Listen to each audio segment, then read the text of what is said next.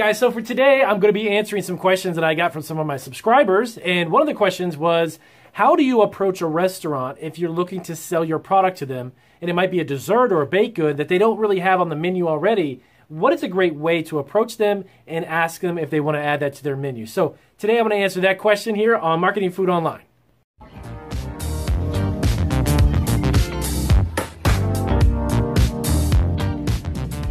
Okay, so right to the question. So I had one of my subscribers, thank you very much, by the way, for sending me this question. It's actually a great question, and there's a lot of subscribers who are probably in the same boat or looking to do the same thing. So hopefully this video will help out more than just your answer. Um, so I'm looking to bring a product to a local restaurant, and it is a dessert product or possibly even a baked good, whatever it may be. And you're thinking to yourself, well, how do I approach them? Like, what would be a good way or professional way, or how would I present it to them? So from my own experience, and the reason why I say this is actually about four or five years ago, um, there was an Italian restaurant locally here that I we had frequented quite often. Uh, but many of the desserts were kind of I don't want to say boring, but just cheesecakes and the same old thing that you get um, uh, slices of cakes, maybe even ice cream. There was nothing unique that was really a unique dessert that would kind of attach itself to the menu, which was all Italian food. Um, they even had a cannoli uh, but they didn't make it there. Everything was brought in, and you can kind of taste and you can tell that it wasn't something freshly made. So we actually have a line of Italian cookies. Of course, owning an Italian uh, bakery and, and uh, gelato and sandwich shop, we had all these that we were making at the time. Um, so I had about half a dozen that I brought in. And tip number one, before I get into how I actually presented it, um, if there's a specific restaurant or uh, business, if it happens to be a coffee shop, ice cream, whatever it is, um, I would recommend, highly recommend that you frequent it. Before you approach them, this is really important, before you approach them, go there frequently or, or, or at least go there about a half a dozen times. Spend some of your money, okay? Buy some of their products, whatever it may be. If it's a restaurant, sit down and have lunch, okay? Um, and occasionally maybe just give a compliment to uh, the waitress or even ask the owner to come over and say, you know what, we've been coming here so often, I love the food, etc., etc. There's a reason for that. You want to build up a positive rapport with the owner or manager, whomever it is that's in charge or owns the local place, okay? You want to have that rapport prior to you going in. It's super, super important that in the world of business, it doesn't matter what type of business, by the way, setting aside, of, setting aside the food aspect of what I'm about to tell you, uh, businesses are relationships. It's not honestly about services or the products. It is not. It's deeper than that. It is about relationships. And if you are a business owner and you want to do business with another business, you want to have that rapport, okay? The relationship you have with them is the starting point. It is the stepping stone, if you will, for selling them anything, okay? You don't want to just go in there out of the blue and say, Hi, I make cookies locally. Do you want to put them on your menu?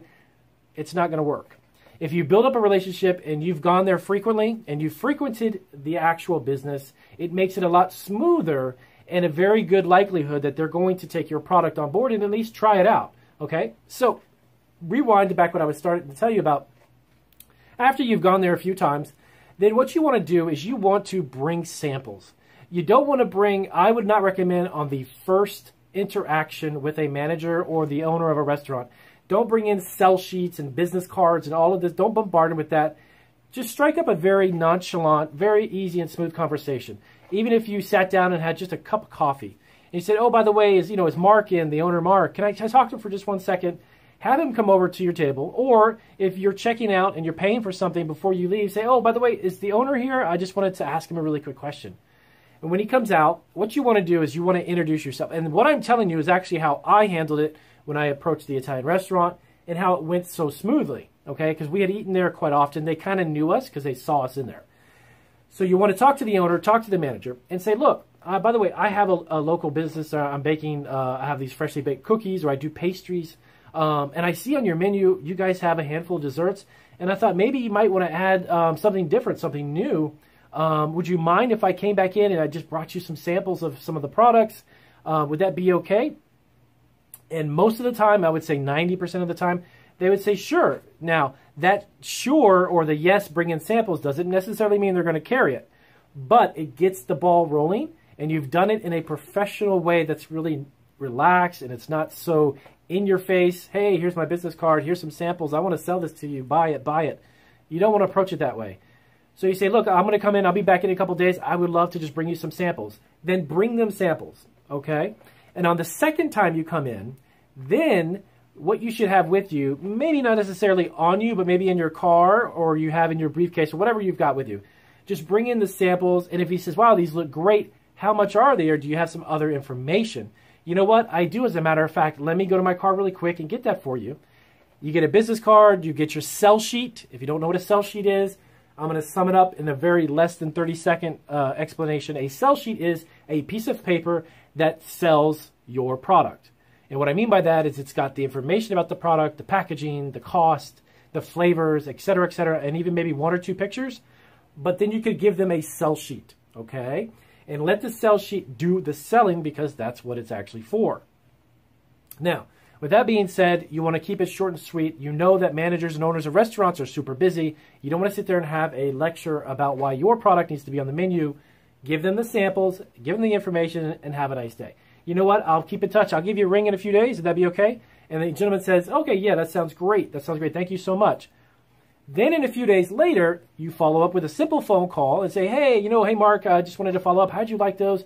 And he can say, wow, these are great. You know, I've never thought of adding this to our menu it's such a great item, such a great idea too.